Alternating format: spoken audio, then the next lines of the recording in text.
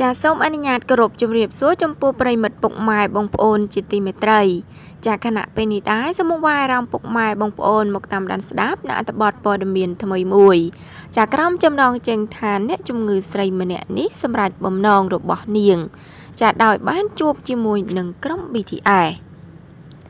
ចាកាលពីពេលថ្មីថ្មីកន្លងទៅនេះចា BTS បានទៅចូលរួមក្នុងកម្មវិធីបើកឆាករបស់ Jingle Bell ចាឆ្នាំ2019ក៏ប៉ុន្តែមុនពេលដែលពួកគេទៅចូលរួមក្នុងកម្មវិធីនោះ BTS ក៏បានឆ្លៀតពេលវេលាដ៏មមាញឹករបស់ពួកគេដើម្បីទៅបំពេញបំណងប្រាថ្នារបស់អ្នកគាំទ្រស្រីម្នាក់ចាដែលកំពុងតែមានជំងឺម្នាក់ចារបស់ពួកគេផងដែរចាជាក់ស្ដែងតាមរយៈកម្មវិធីមួយដែលមានឈ្មោះថា Meet and Greet ដែលត្រូវបានចាក់ផ្សាយតាមរយៈ Jackis FM បានផ្ដល់ឱកាសឲ្យអ្នកគាំទ្រអាចបានជួបផ្ទាល់ជាមួយក្រុម BTS ក្នុងនោះដែរអ្នកគាំទ្រស្រីម្នាក់ចាដែលជាអ្នកដែលជួបជាមួយនឹងសមាជិកក្រុម BTS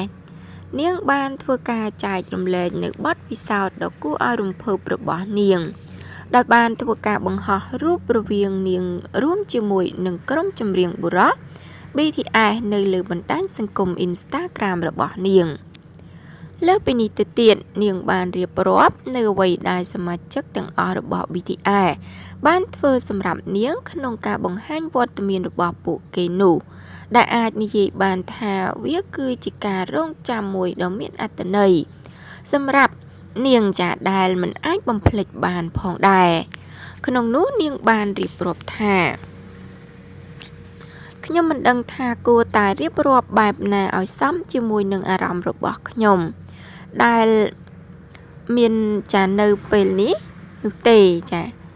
ខ្ញុំគឺពិតជាពោពេញដោយអារម្មណ៍ដែលមានសុភមង្គល ការគោរពរំភើបភ្ញាក់ផ្អើលជាមួយនឹងក្តីស្រឡាញ់យ៉ាងខ្លាំង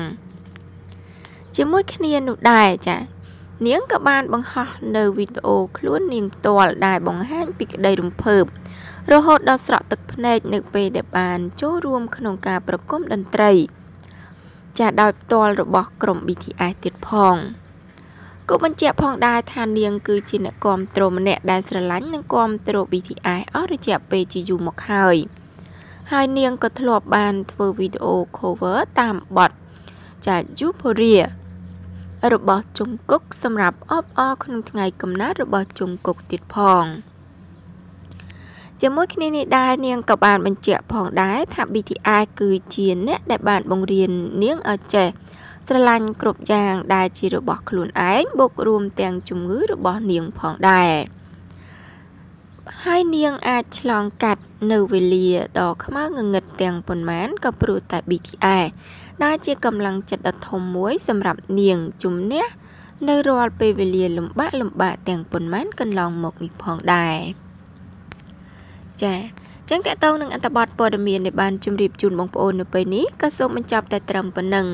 ចាសូមអរគុណរាល់ការតាមដានស្ដាប់និងទស្សនារបស់ប្រិមិត្តពុកម៉ែបងប្អូនផងដែរចាសូមអរគុណសូមគោរពលា